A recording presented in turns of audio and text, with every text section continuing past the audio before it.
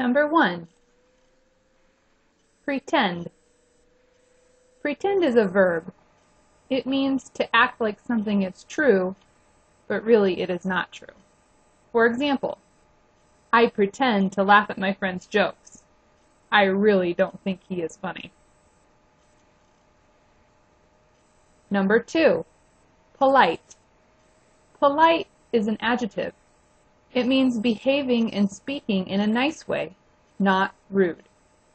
For example, the child is always polite. She says please and thank you.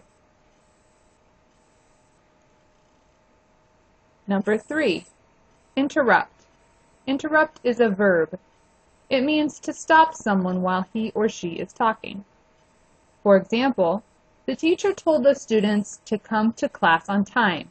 They interrupt him when they come in late. Number four, pay attention. Pay attention is a verb. It means to listen or look carefully and think about someone or something. For example, good drivers pay attention to the road while they are driving. They do not look at their cell phones. Number five, solve. Solve is a verb. It means to find the answer to a problem. For example, my friend is good at solving problems. She always has good ideas. For example, when my car broke down, she helped me find a bus to take to work.